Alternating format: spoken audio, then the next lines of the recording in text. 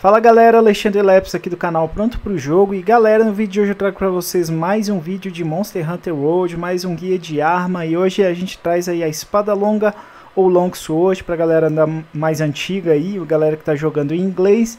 E é uma das armas mais queridas aí pelo pessoal por conta da sua praticidade, por conta dos combos que são mais simples e também por conta de muitos jogadores que acabam não se adaptando com armas mais pesadas, que tem uma mobilidade ah, menor né, no Monster Hunter World. Então muita gente acaba começando pela espada longa, porque vocês vão notar, os combos dela são tranquilos, ela tem uma mobilidade legal e acaba sendo mais amigável com boa parte dos Hunters, que com o tempo vão se adaptando e testando novas armas, beleza? Então Longsword é uma arma que tem um ataque relativamente longo, né, comparado com outras armas de ataque corporal. Ela tem um alcance bom.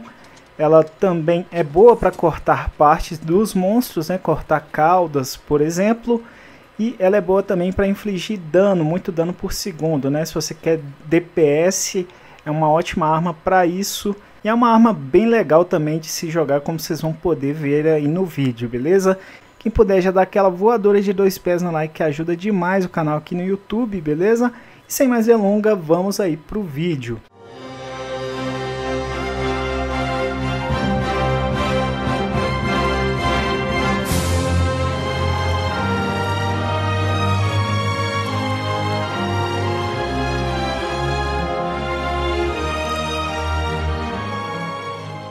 Bom galera, falando aqui da Longsword, vocês vão notar que o principal da Longsword é aquela barra espiritual que está logo ao lado ali dos mantos, beleza? A gente tem logo acima aquela barra de afiação que está em azul e logo abaixo a barra de energia espiritual dessa espada que controla aí toda a mecânica, é o charme da Longsword. Vocês vão notar isso aí no decorrer do vídeo. Os ataques básicos que a gente tem é o triângulo, pode ser utilizado aqui para o corte de passada. Se você der triângulo aqui duas vezes, ele vai dar o corte passado e o corte descendente três vezes. Ele vai dar uma estocada. E o combo mais básico que a gente vai utilizar bastante para estar tá recarregando a energia espiritual da espada é sempre esses golpes, né? Esses golpes básicos todos já recarregam. Só que o combo mesmo seguido, que um, um que a gente vai utilizar é o triângulo, quatro vezes que ele dá estocado e logo depois o corte ascendente. Então a gente pode estar tá fazendo isso aqui. Se você continuar, ele vai atacando ainda. Ele vai continuar combando. Se o monstro estiver parado, você pode continuar ali atacando bastante. Agora, a gente tem também o ataque com bolinha, que é a estocada, normalmente não vai ser utilizada sozinha, né? Você pode estar utilizando no meio de um combo. Você está ali usando o triângulo. Pá, usou quatro vezes, depois dá uma estocada. Ou você vai utilizar mais a estocada para iniciar um combo também. Vocês vão notar isso aí.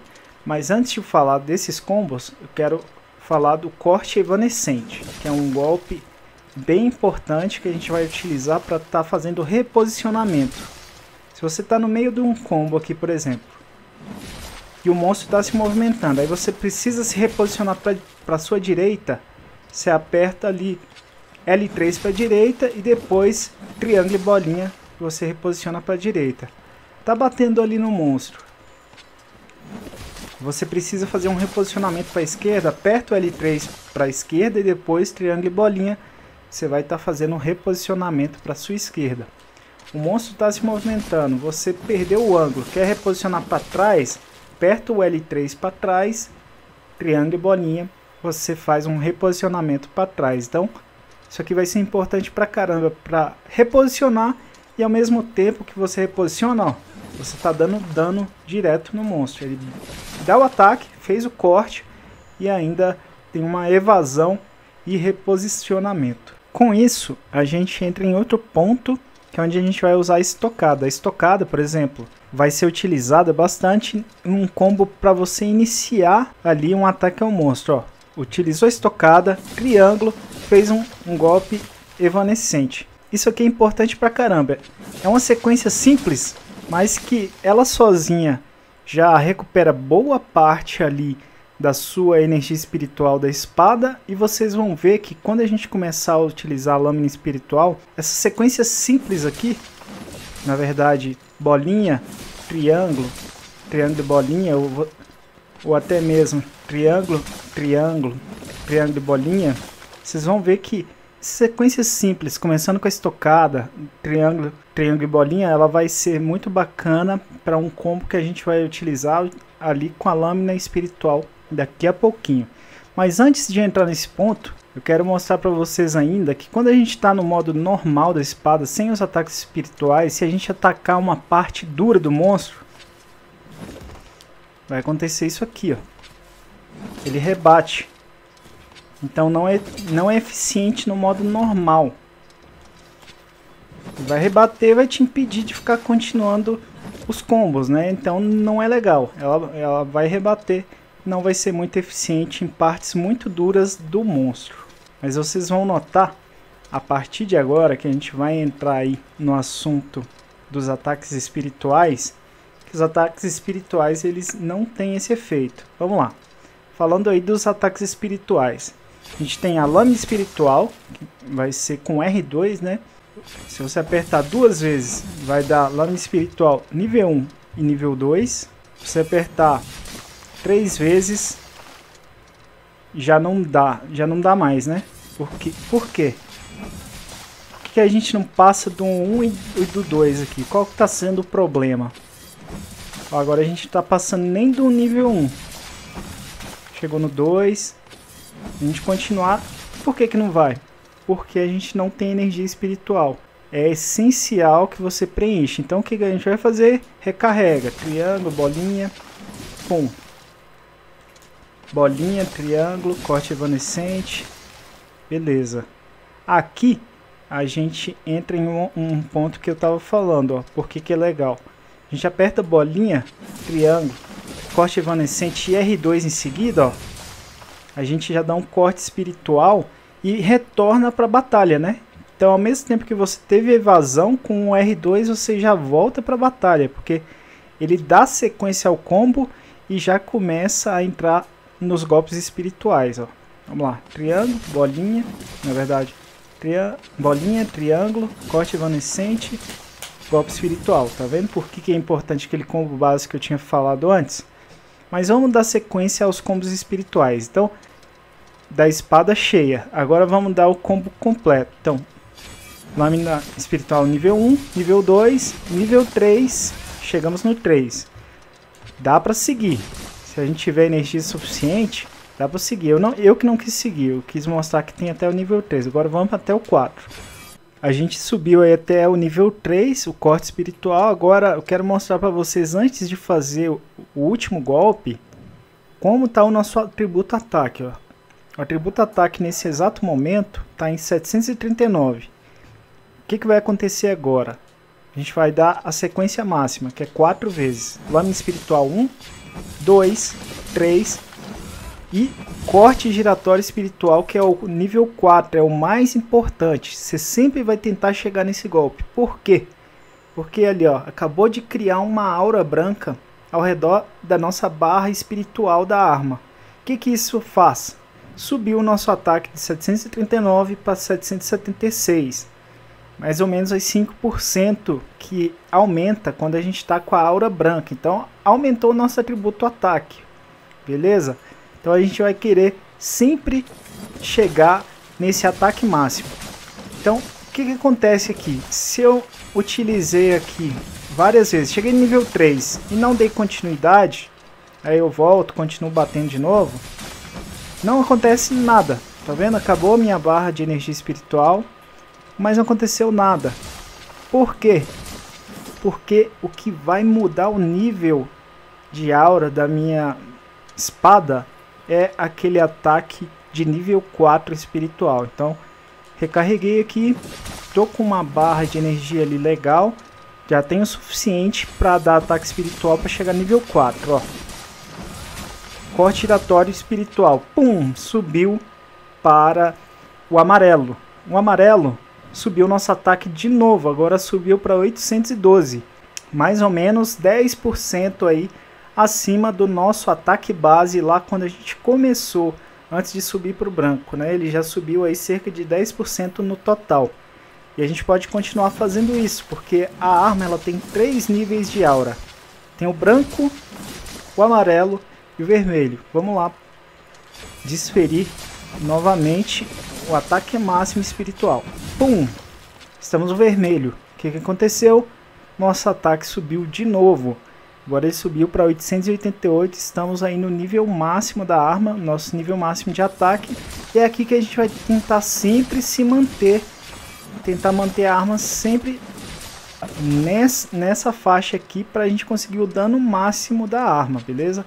Então nessa altura você já entendeu que não adianta só desferir ataques de lâmina por desferir, né? Se eu cheguei aqui no nível 3, ele não vai subir a aura. Sempre tentar chegar no último ataque. Mas aí você se pergunta, a única forma de eu estar tá fazendo isso é desferindo os quatro níveis com R2 ou tem outras formas de eu fazer isso? Sim, tem outras formas e isso aqui é interessante pra caramba. A gente vai focar nisso agora. Então vamos lá. Uma das formas é, eu já tinha até falado porque que era importante a gente estar tá fazendo. Né? Começou com bolinha, triângulo, desferiu aqui, triângulo e bolinha, dá continuidade, ó, o que, que aconteceu aqui, ó? Essa sequência que a gente fez bypassou o, o ataque de lâmina 1 e 2 e já foi para o lâmina 3, ó, e depois do lâmina 3 a gente já está no corte espiritual que sobe o nível. Então foi uma outra forma. Como que a gente fez isso? Então se a gente já tem um pouco da barra de energia ali completa, vamos lá, bolinha, triângulo, corte evanescente, corte aéreo espiritual e finalizamos com corte giratório espiritual e sobe ali a nossa aura. Corte giratório espiritual é o, que, é o golpe que vai fazer sempre a aura subir. Essa é a única forma? Não. Tem outras formas ainda de se fazer isso. Outra forma de você estar tá fazendo isso, você pode começar atacando com R2, intercalar com triângulo, R2 intercala com triângulo, já caiu para lâmina espiritual 3, pum, já está no no corte giratório espiritual 4. A gente fez um combo que não estava ali com a barra cheia, demos mais dano porque fomos intercalando vários golpes e ao mesmo tempo conseguimos aí subir a espada de nível, né? Vamos repetir esse aí, a gente já tem que estar tá com um pouquinho aí de energia pelo menos para garantir. Beleza, vamos lá. R2, intercalou triângulo, R2, intercalou triângulo, já estamos no lâmina espiritual 3, corte giratório espiritual. Assim subimos aí o nível da espada. Então, mostrei duas formas que você vai fazer isso. Existem outras formas também. Você já está com um pouco da barra da espada ali carregada de energia, você pode subir aqui, por exemplo. No que você pula, Ó, R2, ele já caiu no lâmina aérea 2. Você continua combando, pum. Ele já, já deu o corte giratório espiritual que sobe o nível da espada ali. Que sobe o nosso nível de ataque. Então com um simples pulo que eu dei aqui já combando com R2, ele já tá caindo aí na, na lâmina espiritual de nível 3, né? Então te facilita muito chegar no nível 4, que sobe a espada. Os pulos vão ser de extrema importância para o cara que usa Long Sword. Mesma coisa pode ser feita se você pular. Já estou ali com um pouco da barra, né? Da espada preenchida. Pulei aqui com R2, ó. Nível 3. Pum. Corte giratório espiritual. Já subi de novo o nível da minha espada. O nível de aura. Simples pulo. Já com R2 você já cai no nível 3, mais um, um R2, você já conseguiu subir o nível de aura da espada. Outra forma que a gente pode fazer isso, enquanto a gente está correndo com R1, aperta a bolinha, caiu aqui X, R2, caiu no nível 3, continua atacando, pum!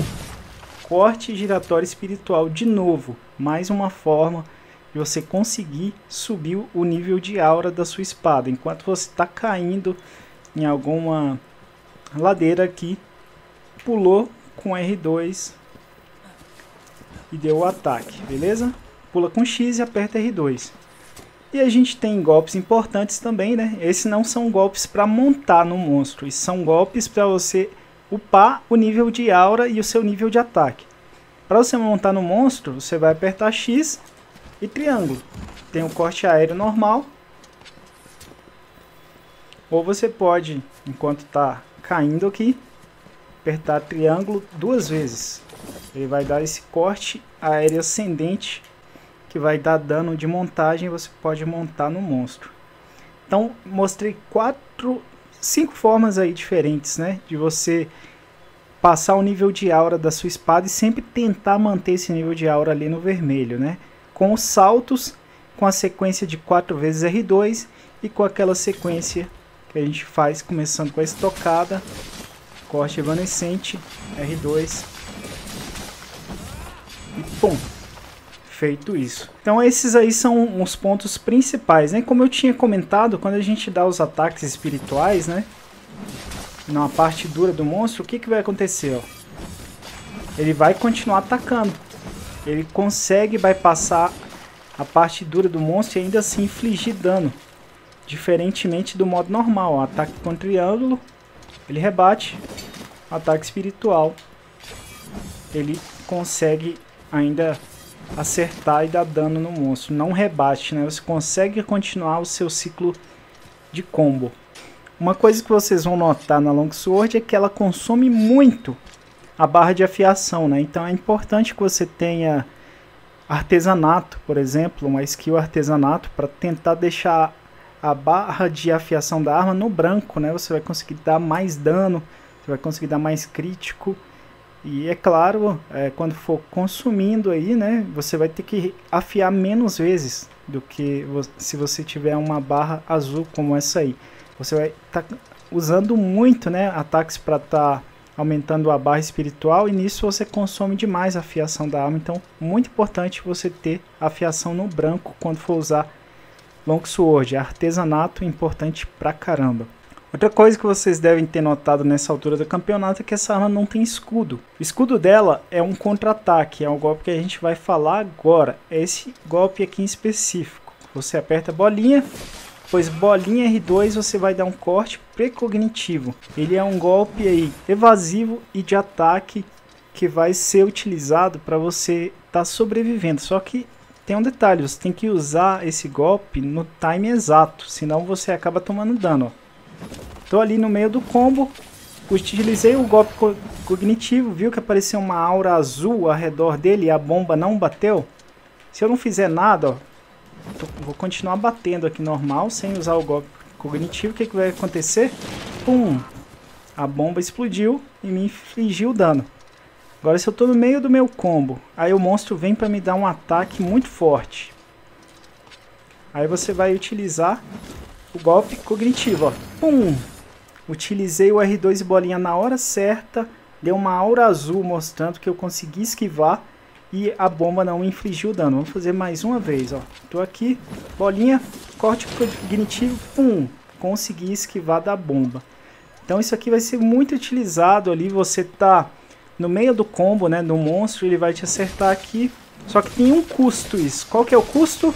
Olha a sua barra de energia espiritual da espada, ela acaba na mesma hora. É o custo que você paga para não tomar dano e para você continuar combando, né? Então você tá ali no meio do combo, batendo no monstro com seja com R2 ou com, com triângulo, usou o ataque cognitivo, voltou, gastou tudo, tem que começar de novo a subir o seu ataque espiritual. Mas é algo que você vai poder combinar e utilizar aí no meio de todos esses combos que a gente já falou aí durante o vídeo, beleza? Então, importante pra caramba isso aqui vai ser muito utilizado no meio da batalha. E para fechar com chave de ouro, um dos ataques mais legais dessa arma, que dá muito dano também, é quando você aperta R2 e, e triângulo. Ele vai dar esse estocado espiritual. E logo depois ele vai descer e infligir uma série de hits no monstro, né? Vai bypassar o corpo do monstro todinho. Vamos lá, vamos fazer de novo. Ó. R2 triângulo. Pum!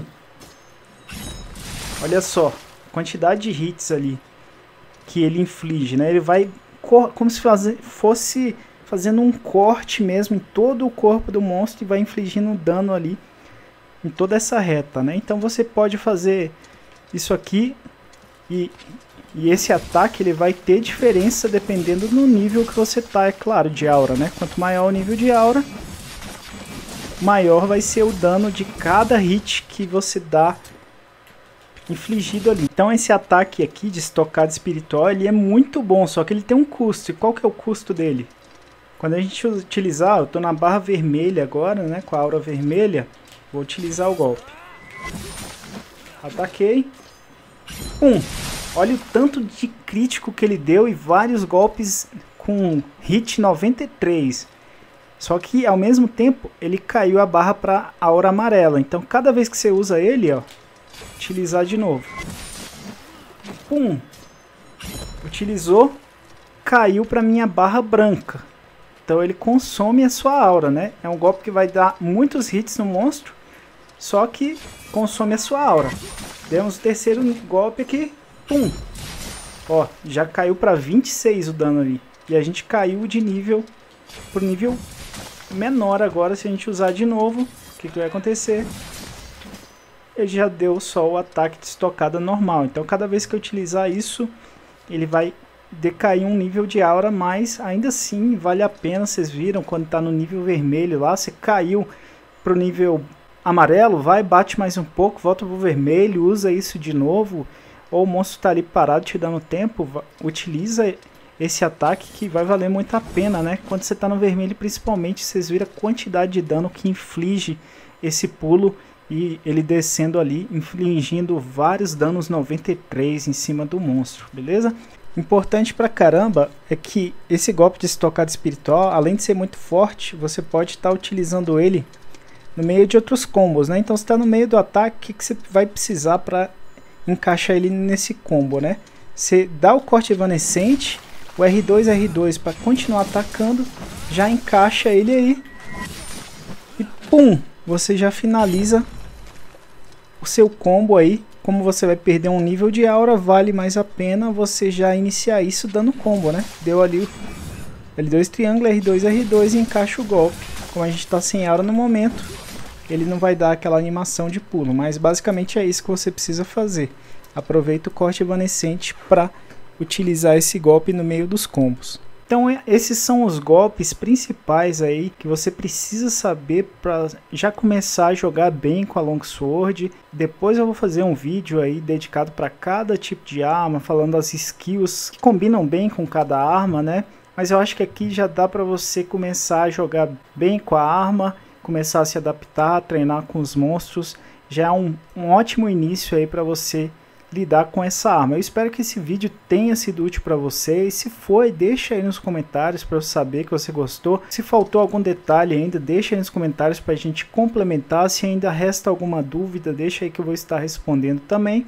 Se você não é inscrito do canal, fica o convite para se inscrever. Se você já é inscrito, fica o convite para assinar o sininho de notificações e receber notificação de novos vídeos. No mais, não esqueça de conferir a playlist com outros vídeos de Monster Hunter World e tutoriais aqui do canal. No mais, eu vou ficando por aqui. Espero ver vocês nos próximos vídeos.